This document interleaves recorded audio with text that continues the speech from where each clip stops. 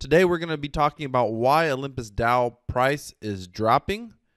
We're going to be talking about what can happen so they can fix the project. The project is currently in a free fall. Looks like it is failing. Is it over? It may be, but I actually think the project can be fixed, and I'm going to share with you what I think they need to do to be able to fix the project. So, first thing we're going to do is we're going to cover four reasons why I believe the project is failing, and then I'll let you know what I think they can do to improve the project and make it better. Also, I'm going to give you a tip about some other DAOs a little bit later in the video as well. Something to think about if you're looking to invest in other DAOs outside of Olympus. Now, nothing in this video is financial advice. These are simply my observations. Please take this information, do your own research, think it over, critically think for yourself about what I'm saying. And then if you have any other comments or ideas, put them down in the comments. Let's have a discussion. But again, this is not financial advice. The first reason that I believe Olympus DAO is failing is because their intended purpose is really not that clear to the community. The the project says at its core that it's a the goal is to be the decentralized reserve currency. So what is a reserve currency? A reserve currency is designed to give stability to a financial market. They go on to say Olympus is building a community owned decentralized financial infrastructure to bring more stability and transparency for the world. Again, the keyword here is stability. I love what this project is trying to achieve, and I actually think it can still be achieved long term. The fundamental project. The problem is, a lot of people are treating this project like it's some sort of crazy moonshot. And I understand the APY was crazy high. The people who got in early, when you talk about, you know, multi hundred thousand percent APY or tens of thousands, whatever it was in the early days, the people who were earning that percentage and the price went up, they made a fortune, probably their biggest win in all of crypto, unless they were early Bitcoin investor. I mean, that was that was an enormous win right there. So a lot of people are were looking at this project like it was going to somehow just take off and go to the moon. So you have to ask yourself, what was the goal of the project? The goal of the project is to be backed by $1 in DAI and to be a decentralized reserve currency. So they don't have a, a maximum price. The price can sell above a dollar, but that's a premium. Now, I, I know a lot of people talk about the treasury value, and we'll get into that in a moment. But it's not been clear enough inside of the Telegram groups, inside of the uh, Discord. It's not clear enough that this project is intended to be a reserve currency asset. That is the goal first and foremost. And people don't even understand what a reserve currency asset is. Now, admittedly, it is in the white paper. They do say that in the white paper. It's part of the reason I sold when I sold back in November. This is the video where I announced that I was going to be selling. So it's first and foremost, the intended purpose is not clear. The second reason I believe the project is failing is because the inflation is entirely too high. If you read through the white paper, they explain that the high inflation in the early days helps to create attract attention and to create adoption. Give the Olympus team credit for doing something innovative and being one of the first teams to do this. They probably did not realize how much attention would be created. They didn't realize how this would affect price long term. There was really no way to be able to predict that, especially because they were one of the first projects. Now, when you see a new DAO and they have these crazy high APYs, you just need to understand something sketchy is going on because now we know what this does to price. It causes it to spike really hard. It did the high APY did attract attention. But the problem is it attract the wrong type of attention as well if, if you're looking for some sort of reserve currency asset, think about stablecoin. Ideally, they were creating something that should maintain buying power where the US dollar does not. The US dollar gets inflated over time. They were trying for you to be able to have something you could own and you could hold. You could understand that it would be at least worth a dollar, but because of the treasury mechanisms and how they own the liquidity and how the treasury can earn yields relatively safely. The idea was that over time, the value of your dollars would be able to maintain the purchasing power. This is such a neat concept. But the type of investor that really wants to have an investment that's going to maintain its purchasing power, that's going to be a true decentralized reserve currency, that type of investor is far different than those of us who are looking for high risk, high returns. The high risk, high return crowd eh, it doesn't want a slow investment. The high risk, high return crowd doesn't want 10%, 20% a year. They're looking for hundreds of percent if they can get it, thousands of percent in the short term, and they're oftentimes in and out of projects very, very quickly, which is why you end up seeing a price chart that looks a little bit like this. By the way, a lot of times talk, people talk about all uh, all time highs and they talk about Olympus. I want to say this real quick. Right here, literally, somebody posted next bull market it will break twelve hundred dollars in support. I don't know where he sees that support. I think he means resistance, but that was on the 26th. This isn't a complex chart, but you can see how much volume is here when it got to close to all time highs at $1,200, $1,300. Look over here. There was no volume. It needs, it's going to need exponentially more volume created to hit that price again because the supply is so much higher.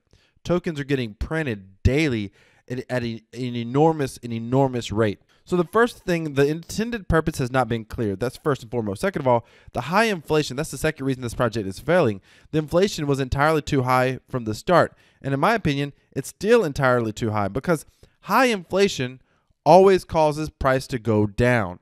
And a lot of investors, even in crypto, don't quite understand that.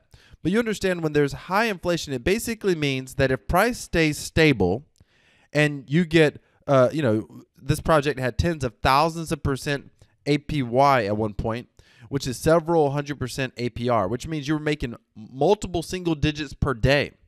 If you're making, say, 5% a day on your investment, six, and, and you go two, three, four days, if you're a small investor, you're willing to hold that because you want that to grow somewhere. But if you are a whale and you're sitting on hundreds of thousands of dollars or even a million dollars, 5% in a single day is significant and you are desperately worried about losing that hundreds of thousands of dollars if the price drops. So whales typically start to sell first. By the way, a key to being a successful crypto investor is think like a whale, even with a small amount. But that's another video for another day. So whales are going to start selling 5% a day. Heck, after 10 days, they've made 50% on their hundreds of thousands. They're going to start selling. They are not going to hold and compound indefinitely because they know that someone is going to eventually sell and they don't want to be stuck holding the bag, particularly if they have a large amount of USD value at stake. So the third reason Olympus has failed is partially because of what I'm explaining here, and that is that 3.3 isn't working. Now, if you don't know what 3.3 is, let me explain it this way. So the idea behind 3.3 was basically represent staking and bonding. If you're staking and bonding and you're not selling, and if everybody's staking and bonding, then the price is going to stay up even though the high inflation creates a tremendous amount of sell pressure, if everybody staked, everybody bonded, and nobody sold, then of course the price would stay up and, and everybody would make money. But one way to think about it is what they call the prisoner's dilemma. So imagine here there's a lawyer, he's a prosecutor, and there's you and somebody else, and you've both committed a crime. Now there's two scenarios I'm going to play out here and explain why 3-3 isn't working. It can work, and it does work in some scenarios, but it's not working with Olympus DAO and it's not working with most of the DAOs. And this is part of the reason why. So let's just say you committed some sort of horrible crime and you're looking at, you know, 20 years in jail. Think about 20 years being locked up in prison. You and you have a co conspirator or somebody else who was with you. You both committed a crime. You both were doing the same thing. You're both charged with the same crime, and you're both looking at 20 years in jail. Now, they don't have any hard evidence. So without a confession, you're probably going to be okay. Let's say the lawyer here says, uh, he comes to you and he says, listen, if you tell on your buddy, you're not going to have to do any jail time, but he's going to get life in prison. In other words, more than 20 years. You can walk away scot free. You don't got to do 20 years. You just got to tell your buddy. Maybe you're not a snitch, but you start thinking to yourself, is my partner a snitch? If you both kept your mouth shut, you might get off scot free. If you both did what was best for the group, you might not even get in trouble. They don't have any evidence. But you're sitting here thinking, is my co conspirator, who I can't see, they've got us separated, is he also going to keep his mouth shut or is he going to rat me out? And then if there's any doubt in your mind that you're going to get ratted out, the first thing you think about is, well, I need to act first because I need to act before he acts. And by the way, he or she is over here thinking, I need to act before the, they act. And then all of a sudden, you're both racing to tell the lawyer your side of the story and, you know, rat out the other person. This is what happens in investing. This is what happened in game theory. The idea is if everybody does what they're supposed to do in Olympus DAO, the price never drops. Everybody gets all the rebases. and you end up making a fortune. With the high inflation rate, it creates the same sort of scenario with the stiff penalty if price drops because the price can drop really fast because of the inflation. There's so much more supply being on the market. So now let's look at another scenario where 3 3 might work. And that is, let's just say, you know, you got some petty crime. You're going to go to jail for, I don't know, a month. And your your partner would go to jail for a month. But if you keep your mouth shut, nothing's going to happen. And if one of you talks, they say, hey, listen, if you talk, you're going to definitely go to jail. But, you know, it's only going to be a week. If you don't talk, you're, you're both probably going to go to jail for two weeks, is what you're thinking. But if one of you rats the other one out, then the one who, you know, rats out, he's going to go to jail for a week. The other one may go to jail for a month. In other words, the risk reward isn't so strong. When the risk reward isn't so like the, the risk isn't really high, the reward's not really high, the, the prisoner dilemma works a lot better.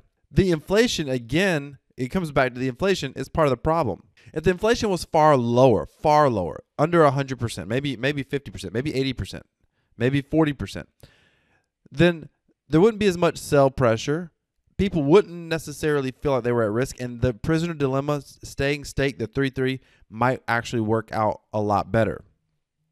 Again, when Olympus started, they didn't necessarily know how this would work out, but now we're actually seeing it in real time. And part of the problem that they have now, type of investor they attracted with a high APY, unknowingly, they keep wanting the high APY.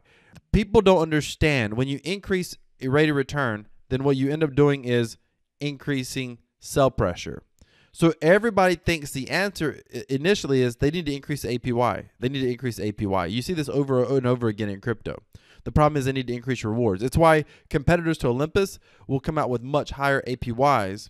And the few competitors that come out with really low APYs, I'm not vouching for those, but they get a lot of hate from the community. A lot of people are like, oh, the APY is too low. And, and people don't understand that the interest rate, the high APY, ends up being a big part of the problem because it's too high and therefore the price goes down far faster than you can compound to keep up with it at least in any reasonable amount of time nobody's trying to really hold olympus for years and years at this point. The fourth reason that i believe the project is failing is right here.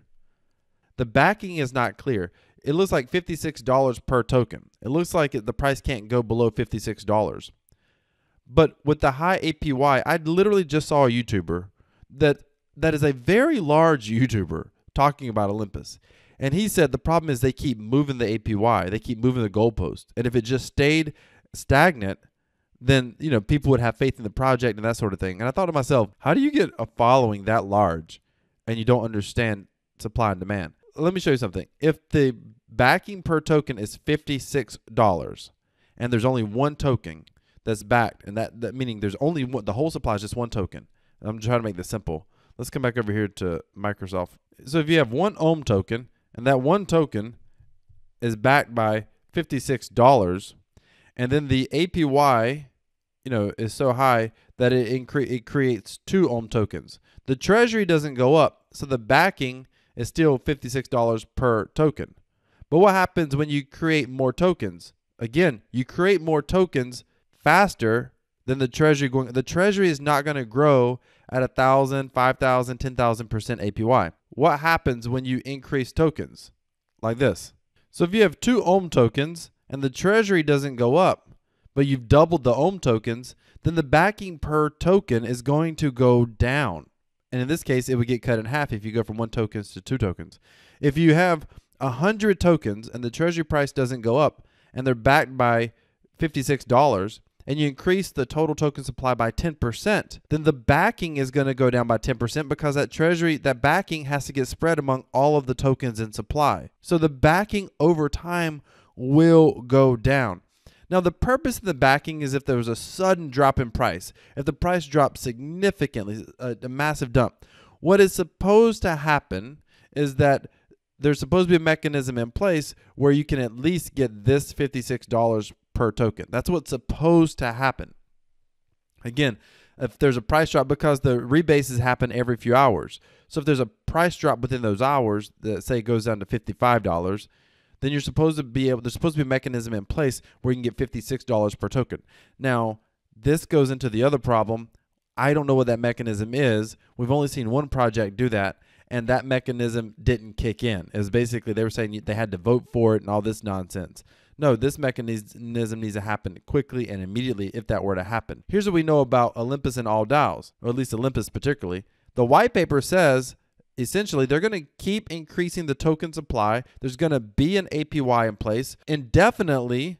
The only time that, that they're going to burn tokens is when if the price drops below $1 per backing. Well, as long as there's a high APY, in a thousand plus percent, several hundred percent, it's pretty safe to say that ultimately the price will get very close to a dollar per token at some point as long as the APY stays that high. There is an opportunity to be able to fix this. I, I, again, overall, I'm a fan of the project. And I actually think what's going to happen is long term, the APY is going to continue to drop. I believe that with everything in me. Right now, the APY 1600%. It's already come down a lot. I think it's going to continue to drop. It needs to drop. What they're doing, what Olympus is doing, is incredible.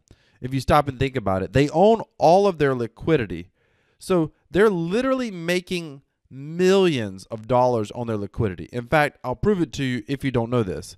Let's look at their their 24 hour volume right here. Is this accurate? Let's do a quick refresh. Okay, their 24 hour volume is 20 million dollars in volume, meaning buys and sells. On Uniswap, they get 0.3% of the, those fees if they own 100% of the liquidity of the LP tokens, and they own all, at this very moment 99.5% of all of the liquidity on OhmDAI. So let's just take a look for a moment on if they had 20 million dollars of volume and they get 0.3% of that. Let's take a quick look. 20 million times 0.3%. That's $60,000 a day that goes to the Treasury times 365 days. That's $21 million, almost $22 million a year. A year. The risk-free treasury assets right now is 227 million. So that's roughly 10% a year. Now, if your dollars in your pocket bought 10%, right now they lose somewhere between 3 to 5% or more a year of their buying power, meaning they purchase 3% less every single year. Imagine if the dollars in your bank account or in your wallet actually bought 10% more every single year. That's the goal of Olympus to be able to have some sort of a, a, a currency, reserve currency that is going to go up over time. The purchasing power is going to increase over time. That is incredible. In order for this project to get to that point, they're going to have to make some changes. The first change is they need to start making much better, clear communication with the intended purpose of becoming a reserve currency asset. Again, it's on the front page of the website. It's in the white paper. They need but they need to be doing some AMAs on Discord or Telegram. They need to be actively communicating with the team what the goal of the project is. Even when price was going up, they could have said, "Hey, guys, just know the price is sky high right now. This is a huge premium. You know, just understand we expect a strong pullback because the team did expect a strong pullback. If not, then they don't need to be running the project. If if an amateur YouTuber like myself understood why there could be a significant pullback, so much so that I sold my tokens when people told me I was stupid. So if I could recognize it then the team has to recognize it. And if not, they don't need to be managing this project. So the first thing is clear communication, letting them know what the goal of the project is, giving them some some sort of expectations on, hey, you know, just be careful. You know, this is risky. At the end of the day, we're backed but supply is growing. That means backing per token will go down over time. And I, have had people try to argue with me that you know the backing per token thing was like like it was some sort of solid sort of thing and it was going to continue to increase over time. The backing per token is not likely to increase over time. The more time passes, the harder it is because there's more and more tokens being minted all of the time every few hours because of that high APY. The second thing is they really need to, to save the project. They need to lower the inflation. They need to do it quickly.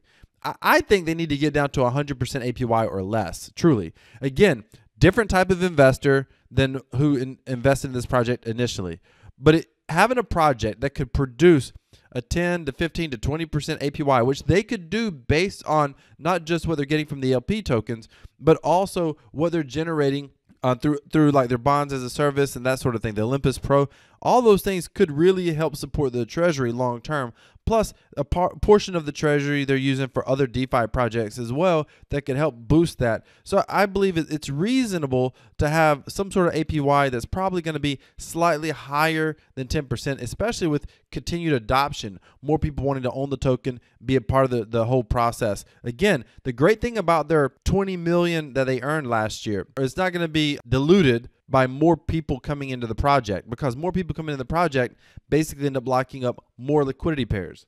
And more people in the project increase volume, transactional volume on the contract. And of course, there's fees paid on every transaction buys and sells. So it doesn't necessarily dilute it that more people are coming in. Unlike something like a yield farm, for example, those APYs aren't sustainable because they get diluted over time. The third, and I think this is a very important uh, change to make to be able to really give faith to the community at whole. A lot of faith has been lost because communication wasn't there, because uh, truly a lot of people didn't understand the effects of the high APY on the overall price. But I think one of the things that has to happen, in my opinion, is they need some sort of redemption option available. Someone in one of my YouTube comments said this, and I thought that's a great idea.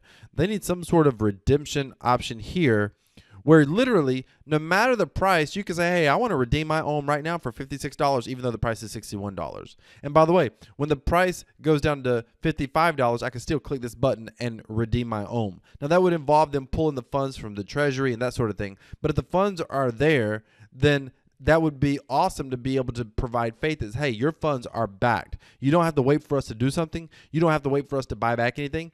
Anytime you want to get you know your funds back you can do it. And by the way there's never going to be a bank run. If they have this backing by per ohm now if it's based on this number there's a problem. But if it's based on the risk-free value asset this is a true backing really for a treasury for a, a reserve currency asset whatever whatever I would have to do the math, but if this is the real number, then it's going to always be there in just about any market condition because these are all stable coins. So it should always be there. So that would be cool to add some sort of button to make it clear that at any point in time you want, you can redeem directly out of the treasury the backing per ohm token. And I think that would add a lot of faith for people who are, are nervous about these projects in general. I want to say this, I want to wrap up with this there's very rarely been a project that I thought had better long term financial potential. Like, I think what Olympus is trying to do, if they can create a truly decentralized reserve currency asset, what that could do for the world of finance would be extraordinary. I mean, truly extraordinary. Think about this banks make money by lending, the way banks make money is they make money by loaning their money out and when they loan their money out, they got to charge you interest. But imagine if somehow a financial system, or in this case, a DAO, made money just because they held the asset in a liquidity pool and they earned the fees off that liquidity. So the asset is always there. The asset always has a stable value. The asset is backed 100% all the time by solid treasury, and that asset is earning funds over time. That's truly spectacular if you stop and think about it. Let me know your thoughts down in the comments about what I've said today. Do you agree? Do you disagree? I'd love to see. Do you think the DAOs are going to be successful? Do you think they're not going to be successful? Let me know your thoughts in the comment. I in the comments. I appreciate you watching. By the way, ladies and gentlemen, if you like this video and you like hearing these sorts of discussions on projects, do me a favor and smash that like button. And if you love earning passive income with cryptocurrency, go down into the description and subscribe to our Crypto Passive Profits newsletter. Decentralized cryptocurrency equals freedom. This is Crypto Wealth. I'm out.